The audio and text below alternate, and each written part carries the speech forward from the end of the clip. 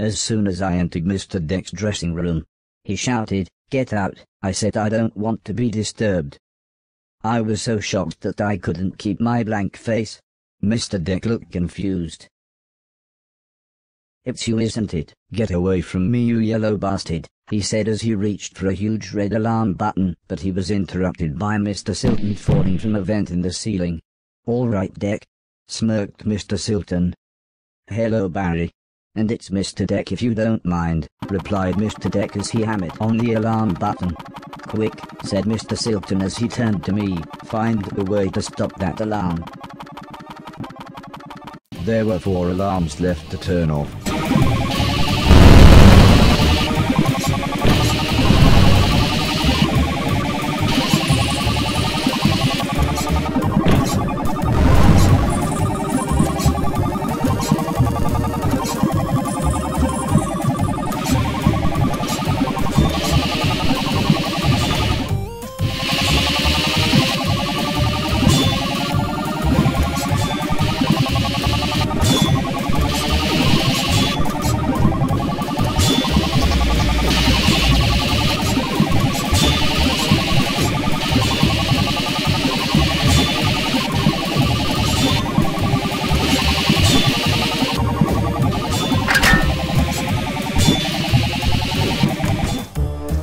There were three alarms left.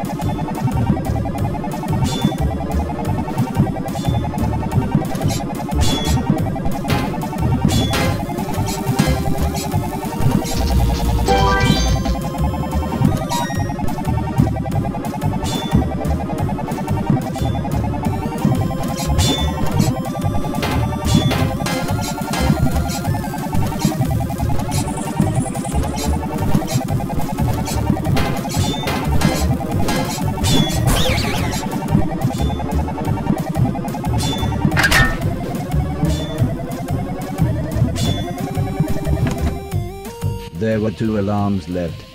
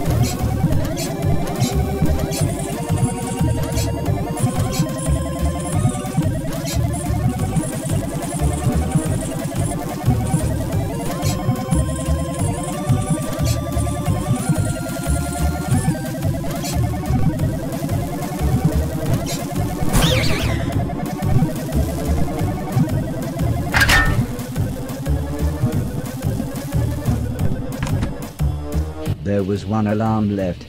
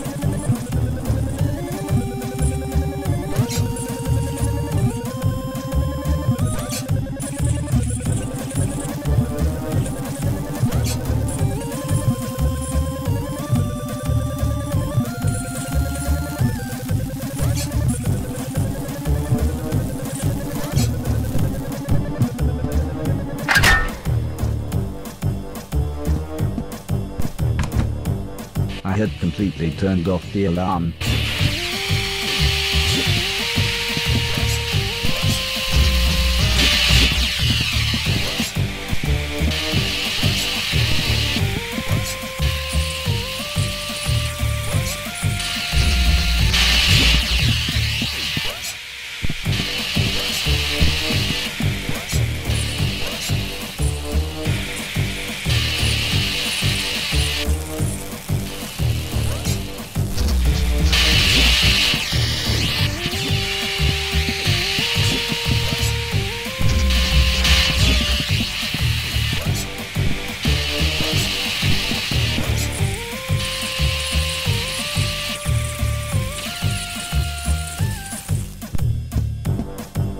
A serious looking security guard walked into the garden set, so I quickly approached him. I wasn't sure what I was going to do, but I knew I had to keep him out of Mr. Deck's dressing room. I attempted to resume the blank face that Mr. Silton had shown me as I announced that Mr. Deck was not to be disturbed. For some reason I said it in an unusually high-pitched voice, which didn't seem helpful. The security guard's eyes narrowed. Now in a full panic, for some reason I decided this was a good moment to do the finger guns for the first time. The large man shoved me out of the way. But quick as a flash Mr. Logan had appeared and snapped his neck. Sorry, had to be done, was all he said before running back toward Mr. Deck's room.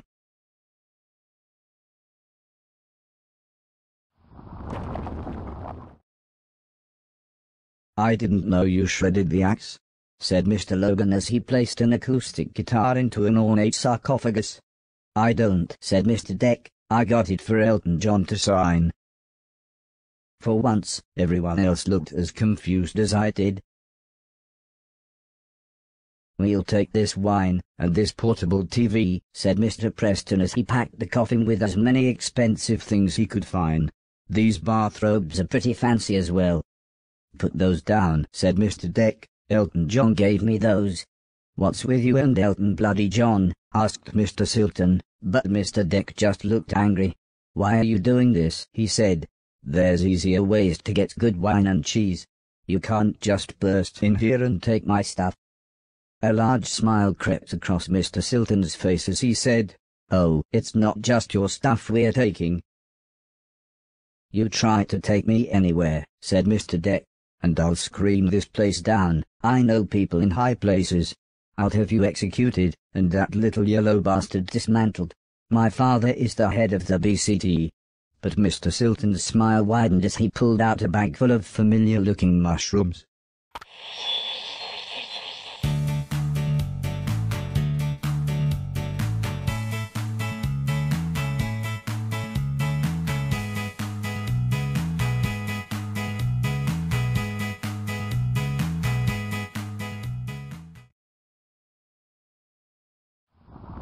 Robot, take the sarcophagus this way back to the loading bay, said Mr. Silton. We'll climb back through the vents and meet you there.